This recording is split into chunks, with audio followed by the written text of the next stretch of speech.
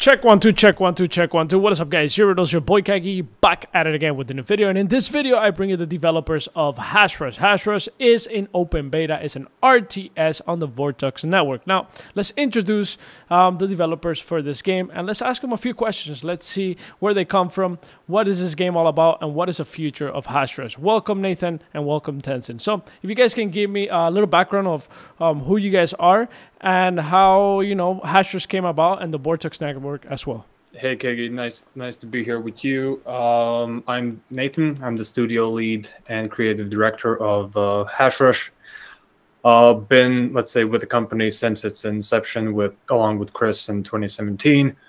Um, yeah, so it's this is this is our first game. Uh, RTS. We've been in the blockchain scene, let's say, uh, from from the beginning, and HashRush was always uh, meant to be this bridge between crypto and, and, and traditional gaming. And being avid uh, RTS fans, uh, both me and Chris and Tenzin as well, um, we decided to push with this genre uh, for a game because uh, this is a genre that we understand and we love. Uh, avid fans of StarCraft and Warcraft, Age of Empires, Heroes of Might and Magic as well. But like, yeah, the Warcraft most most uh, most predominantly. What about you, Tenzin? Hi there. So yeah, my name's Tenzin. Um, uh, I'm uh, kind of from all around the world. I was born in UK, but I have parents from Tibet and Czech Republic. I now live in the Netherlands. I'm, and I moved here from Germany actually, so I've been traveling lots. I've been working in the gaming industry pretty much all my life. It was my first main job, and uh, traditionally it was in the regular MMO scene. But after, like, just when like Ethereum was new, uh, cryptocurrency started picking up again. Um, I I moved over to um, HashRush. This was back in like I think 2018 is when I started. So um, there, that's when I met Chris and uh, Nathan, and it was pretty much a. Um, it came out of a random talk between me and a friend of mine. We were just like looking at RTS games, and HashRush came up because it was like blockchain RTS, and from that moment, I've just been looking at how blockchain can improve games because big issue of mine is I've just got sick about the greed that you find in uh, free to play games and uh, how they just try to milk you of money all the time. And I see blockchain as a way to, you know, um, well, rebalance things a bit while still letting the developers actually, you know, earn enough to keep things going. And yeah, yeah like Nathan said, RTS games has been my favorite genre for all time. Yeah, hell yeah. RTS are amazing, man. Like, look, I also played uh, Age of Empires 2. That was my RTS, like, go to RTS. Um, obviously, I didn't, um, after that, didn't do any other RTS, but Age of Empires was like, you know, so it, it's close to my heart. My math teacher used to, and I'll give you a little story here why I like HashRush, and I liked it from the beginning since like 2020 uh, that I made a video. And my math teacher used to, like, not do classes and just send us to you know to, to to the to the computer lab just to play Age of Empires. That was our math class, the best math class I have ever had. I've like it's just the best way to learn about economy. So uh, wow. I, am I'm, I'm connected with you guys, you know, in that sense.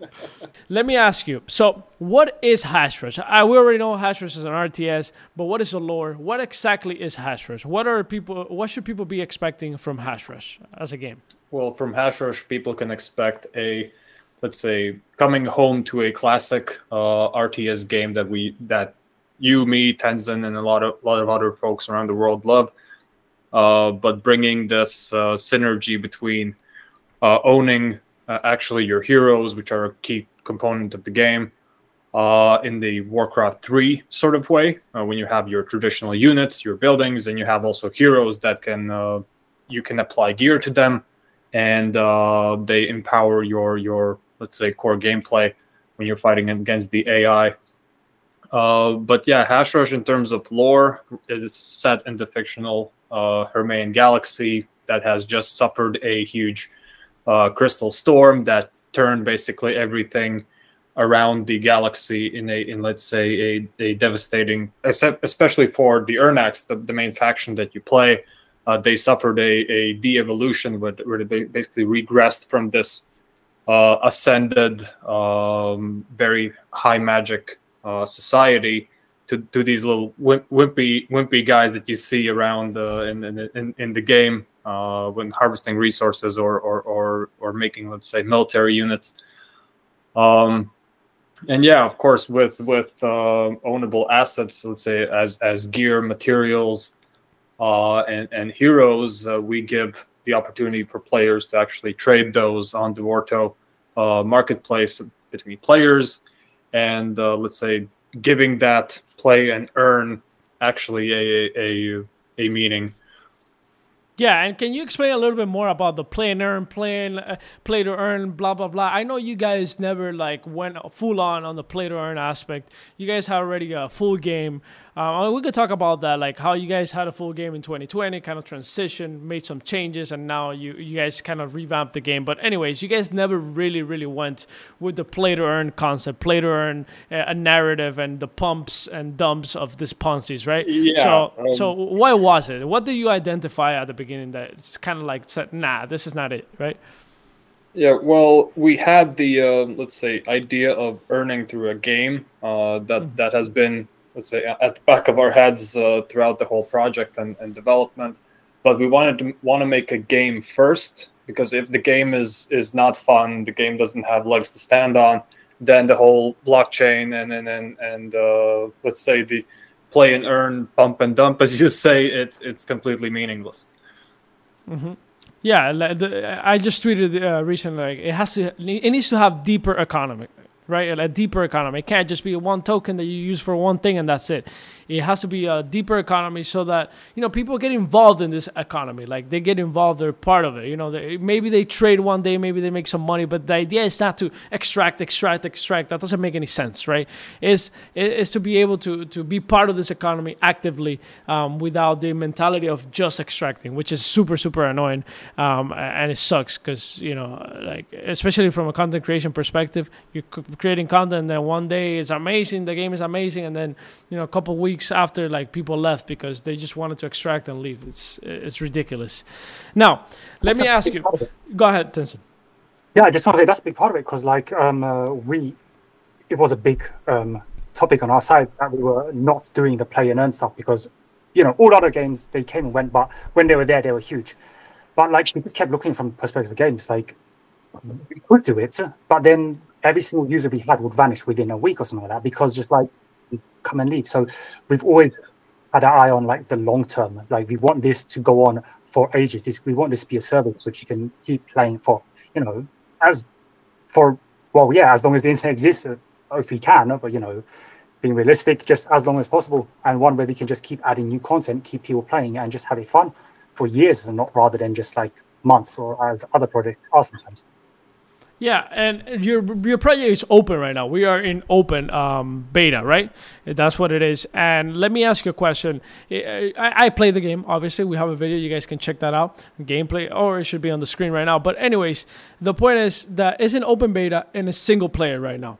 It, will this be multiplayer? Will there be more um, modes to this um, Hash Rush RTS? Yeah, we're building upon the single player aspects first mm-hmm. meaning the standard mode and dungeon mode. If you're a if you're a fan of let's say the the core RTS, then the standard mode is for you. If you want, let's say, a breather from um, from the RTS for a bit, you can go into the dungeon mode. That and both modes um, give, let's say, some resources they give the same, but there are a few resources that are different. So you have to play both modes to actually get uh, everything for, for from the economy side of things. Um, of course, in the future, we have other modes uh, planned and let's say additions to, uh, let's say previous modes, like let's say boss battles. We call them. Uh, uh, Titan, we call them the Titan encounters, and, then we're we're pushing to get those out in early access this year um, to get the full uh, game loop. But of course, PvP and co- uh, cooperative PvP, uh, let's say, are our our uh, our goals. Let's say for for for the future, of course. I can see it, man. PvP. Look, after you guys released uh, the beta and I tried it, I started watching videos on StarCraft. I started watching videos on um, Age of Empires, and I started watching like competitions. And these people are insane, man. These people are like brainiacs, you know, because there's a lot that goes into you know handling this quick economy get, getting your your your your military up and then go attack the enemy. And there's different strats, right? Uh, it's very strategic, and I would love to see that in obviously Hash Rush because Hash Rush is a beautiful game. Obviously, we're in beta. If you guys are playing this game, don't judge it too hard. We're in beta. That's what it's all about. You know, trying the game and trying to break the game to see what needs to be fixed, right? So now you guys released. Go ahead. there for something. Uh, it's about the PvP part. It's because like um, it's requested a lot by the community because, like as you mentioned, StarCraft, StarCraft, and Age of Empires. You can even now just watch them on Twitch and see how amazing it is. It's just like we are planning it, and we've been planning for ages. It's just we want to do it right because uh, if you play any MMO, you know the problems, hackers, everything like that. And now, if you think about it, you have hackers coming to a game where you can earn. In a like that is a recipe for disaster. So our approach to PvP is pretty much the same as everything else. It's really building on security first because if you want to just think about multiplayer, there's so many different layers you need to add in, like simply player authentication, a lobby system, a hack prevention, client server. Like you have to check the versioning between each person. Then you've got to synchronize the data between it, matchmaking systems, uh, scaling the servers, cloud management so systems. Uh, you've got to worry about DDoS attacks. You've needed to somehow handle desynchronization because sometimes you have lag between players. What happens if the client disconnects? Um, that's just the stuff off the top of my head. There's a lot more which have to be done, and these there are a huge amount of things that backend developers have to do. So, like we mentioned PvP, and our backend developers are just sweating, thinking, "Please, please know that we need to do this safely," because they know how important the core economy of Hashrush is. So, really, the message is to everyone: we know we need multiplayer. We want multiplayer. I want to play against people, but we also know play to earn like okay mmos are already hack targets. Play to earn mmo will be the hack targets of everyone because you can then seriously earn from it. So we are looking on security as the like it needs to be as impregnable as possible. Like so that's where we're going for. And i know i mentioned that because i know on i've seen on discord some people concerned that if we do it too quickly will security now security is the first thing we're going for before anything so it may take us a bit longer for pvp it will come but we're doing it in the way that we hope is right and making it safe from start I can attest to that. I agree. Actually, I'm actually playing an MMO right now that has some crypto elements, but anyways, a lot of botting and stuff like that going on and bullshit. So I totally agree with that. You know, just take your time. I- am down for it. I'm down for it. Now, can you explain to me the DAO, Hash Rush DAO? You guys came out with this just recently. What is this all about? What is this DAO all about? Give us a little bit of insight into what the DAO will do. Uh, for the people that don't know, if you're new into crypto games, NFT games, Web3 games, however you want to call it, it's a decentralized autonomous organization in which people get to participate in voting towards the future of Hashrush and different elements, right? But what does that mean for you guys? Well, this one is a bit um, different to what a traditional DAO would be because, like, we have always been blockchain, and uh, seriously, a DAO is a potential, can be a powerful good if done correctly. Now, the problem where we, like, why we didn't do this sooner was because if you look on a DAO, in let's say this is my opinion, I might be wrong, and um, maybe someone will prove me wrong in the future, but I do not think a true decentralized autonomous um, organization can work with a game because players are not game designers. They're like they don't know the various stages of balancing. Like not everyone, but the majority of players will always want the best. So the way that the Hashrush DAO is set up is that it is made to seriously give people a way to give a voice to their suggestions, to their feedback, and stuff like that. And also, when it gets to the vote, it will be a binding thing. So, like, if it, if a vote wins, I will be the one who's on the forums giving them feedback on, like, okay, you guys voted for this feature.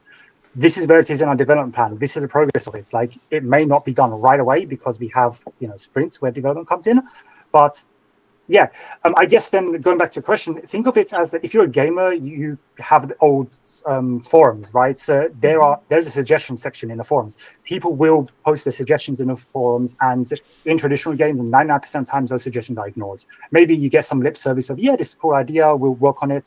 Three years later, you still have no clue what's going on. So the DAO for Hashrush replaces the suggestion forum, where the people like we will use it as well. Like we will come up with ideas and sometimes say, okay, listen, A or B, you as a community, you tell us, right? We've got a question right now. We work. We, there will be new planets. Like we are working on the next planet already in development. But after that, so what type of planet should we add in? Would it be a volcano-based planet, or will it be a? Um, I've forgotten the other one. Uh, I think mountain-based planets. Um, and because like that that is a genuine choice, and uh, in my experience, people actually want to be able to have a say in these small things. But that's like obviously the first question we're giving out to the community, letting them choose on that. But otherwise, um, generally, anyone can go into the forums. Uh, they can uh, put their suggestion forwards, and uh, the way it like it will work as a normal DAO. You discuss it and it gets put a vote. However, there's the extra phase where I will bring the idea to our game designer and we go over two questions. One, is it technically possible? Because, for example, somebody may say add, uh, I don't know, the best RTX features into Hashrush. Like, while we would love to have that technically in Hashrush, it may not work because of the way the code's set up. Now, I'm not saying that RTX won't. It's just because NVIDIA's recent announcement, I've got RTX on my mind. That's the only reason I mentioned that. Then the second question is, will it work with the game design? Because like oh, Hashrush is sort of like fantasy sci-fi. It won't be the it won't work really with the game design if people want us to have give Aeronax a um, hero unit which rides on a pink unicorn shooting laser guns out of its horn or something like that. Like as fun as that can be, maybe it can be a unique hero in future, but as a core unit, that doesn't work with the game design. So those are the parts where after the session is done and uh, me, game designer, Nathan, the team really will check if it works. If it works, great. I will just say yes.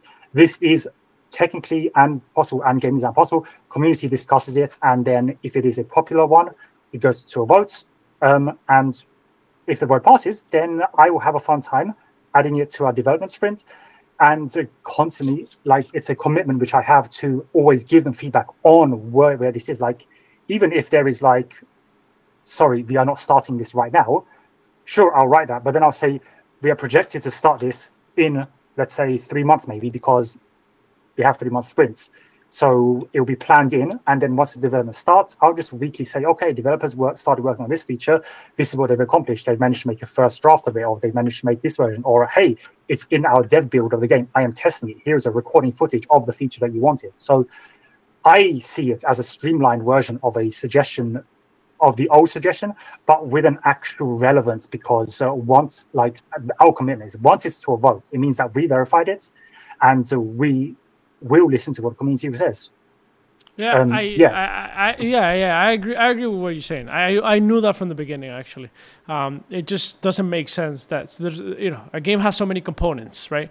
You what? You're gonna decide now as a community how the how the Aeronax should look, how the the game should play, how the UI should look, how how, how you code it. Like, it doesn't make any sense, right? It, it's just at the end of the day it's it's about giving power to the community to a certain extent, giving them uh, a little bit of options. Sometimes you can be like, "Yo, guys, we got two designs. Which ones you guys like the most?" Right?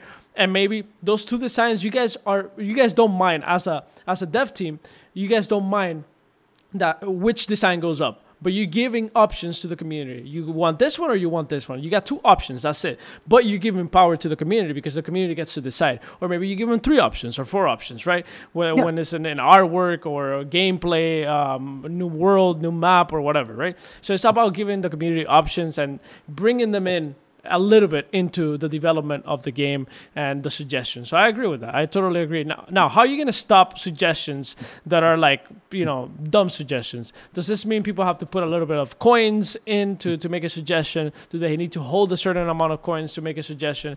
Because I've seen other DAOs that have this kind of system where if you want to make a suggestion, you better put your money where your mouth is so that people don't go like hey let's draw uh, you know some you know a dick you know you know in gaming we know in gaming this is like a big thing you know? Trolling. Yeah I've, I've had this discussion with the team many times because I'll actually the example which i gave them was um, actually a lot more extreme because if it was truly open truly decentralized group of people could come and say we want the game to close put it to a vote and they vote. Like what what the hell happens if the vote for yes the game should close wins? That's like yeah, that can't happen. So mm-hmm. there is no like, okay, you need the RUSH coin to vote, and that's it. To make the proposal is open. However, um, this is where the part where we have to say that it's not truly decentralized because it is still there is an aspect from us, uh, as in the team, mm-hmm. where uh, once the proposal is made there, this is where then um, myself or Lixil or you know whoever or the team member, the Hush team is on the from the time, it, that proposal gets sent over to the rest of the VZ team, including the game designers, and it gets like reviewed. Like as I mentioned previously, we check is this like um, possible technically? Is it possible from the game design? And obviously, we see is this a positive? I mean, like in that case, there, and uh, it's like I've already been told by everyone on side this is going to be a really hard task for me, especially if we reach the targets we want, where the players are going to be active, and so I will have to be there with uh, you know Alexio and Alan and just the rest of the team uh, watching it. But I, it's something I hold dear to my heart because I, you know, working on um, traditional games, I've seen suggestions be ignored, so I'm happy to put that commitment to look into it. Um, but yeah, it, it's just our own verification to make sure that uh, those things don't go in. And uh, like, I get that this does take away a lot from the whole decentralized parts, um, and ultimately it comes down to you. I, I guess I will have to prove it through actions and the way I do it, but my commitment is really to give a fair overview of these things and constantly give the feedback there. So like no suggestions are going to be left hanging. Like if there's a stupid one, I, I, won't just ignore it. I'll just say, yeah, not possible. And where possible, give a reason why not possible. Like I don't want to. It will have to be done. I'm you know, I'm not naive. I'm sure it will come up. I hope it won't come up often. We'll see. It's just work on my hand if it does. But yeah, it, that, those are the sort of controls, and like that. That's why it, I don't see it as a true decentralized organization. However, it is as decentralized as we can do it right now. Obviously, in the future, we can learn. There may be something more happens. You know, technology's changed. Something else can happen, which I can't dream of now. And uh, we've already agreed that this is going to be as adaptable as possible. Something change in the future, we will change it. So, like, okay, if it's a big change, it will be a vote to the community. Like, hey, listen, this has come. It's a potential to change how the DAO changes. Do you like it? Do you think it's a positive or not? If they say yes, then we adapt it. If they say no, then it doesn't. Or yeah, in general, like we already have an eye on being adaptable, so we've agreed it's going to be adaptable when something comes up. Now, but, let's switch yeah. gears here a little bit. Let's switch gear. How how do you guys see the how, how does the play to earn or play and earn work in your game exactly? How do people? What is it that people can do? What is it that people can earn in your game? um, to to progress in your game, right? Um, can you give us a little bit of a deeper understanding of the play to earn economy? Nathan, you want this? Yeah, sure. so, uh, with our two modes that are out now, uh, in standard mode, uh, you play on different types of biomes. Each biome gives you certain um, crafting resources after you complete a match if you have harvested crystals uh, throughout uh, throughout the match, or you got some got some crystals from clearing out, um, let's say, uh, mob camps uh, that we added just recently, um, you get also crystals. So at the end of the match, if you win, depending on how many bases you, uh, how many chests you got from from uh, enemy bases, that's the amount of of either unique resources you get from that biome extra crystals, um, and then then the craftable and also already built gear. Uh, so that's the thing. Those are the the things that you get from your standard mode. So mm-hmm. crystals are not tradable because that's the catalyst for for any type of crafting in the game.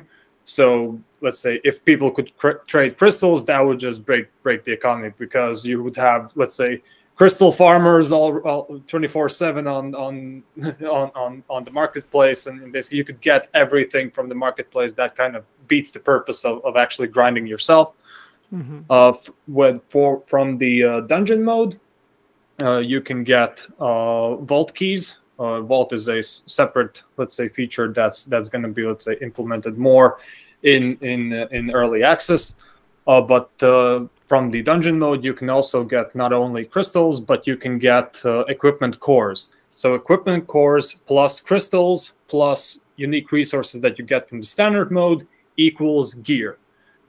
Um, I believe that Tenzin. Uh, I, I hope I'm not. not and then and then, and then what that gear?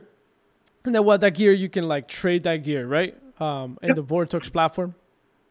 Yeah, so it's like those gears. The gear is actually extremely useful because um, it goes back to the heroes. So your heroes can actually be equipped with gear, mm. and uh, it makes them a lot stronger because uh, you know you have like your standard hero, no equipment. It has stats. That's great.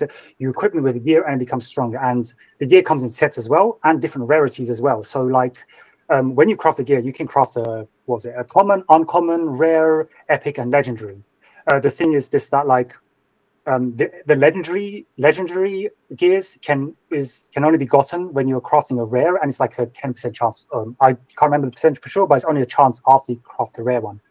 So, um, uh, yeah, the gears are strong in that sense. But it's not only that. Like this is a future um, uh, plan. It's already designed. So It's coming in soon. But then the gear will actually um, they have stats.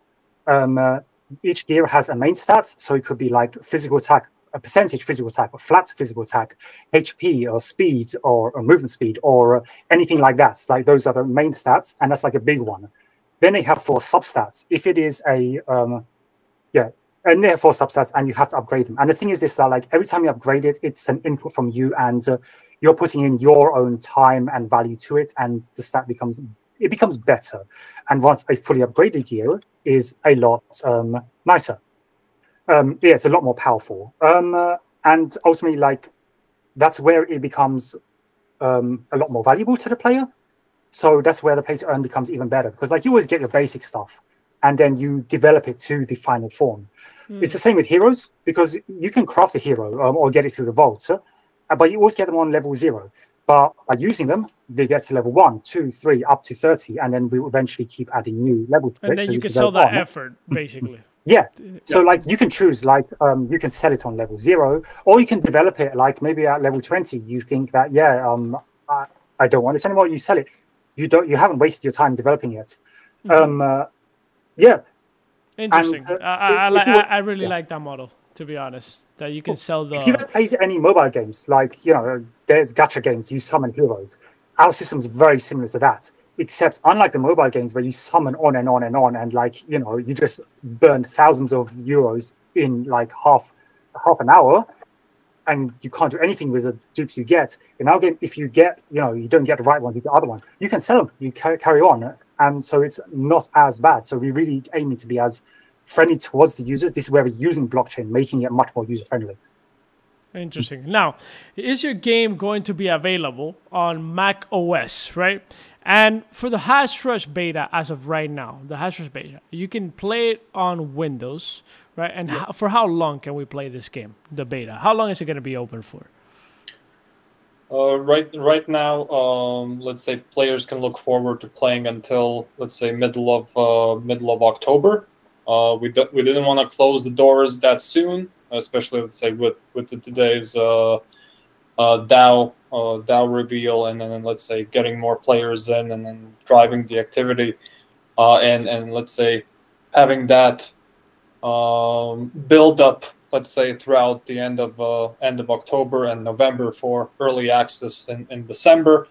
So we have, let's say, players can still have something to play in the meantime, uh, so yeah, that's that's one of the uh, that's the way we wanted to do it with with the open beta and not limiting it to let's say a week or two weeks only. Perfect, perfect. And let me ask you about um, the Vorto network. I really want to understand what the Vorto is looking in the future, right? Today you have Hashrush under it. Um, is a Vorto network going to be a blockchain? Is it what, what is the tech here? Uh, just a quick thing, because we didn't answer the Mac one. Um, oh it doesn't really work right now on Mac. You can use um, uh, some of the you know some emulator stuff to get it to work. Some people works.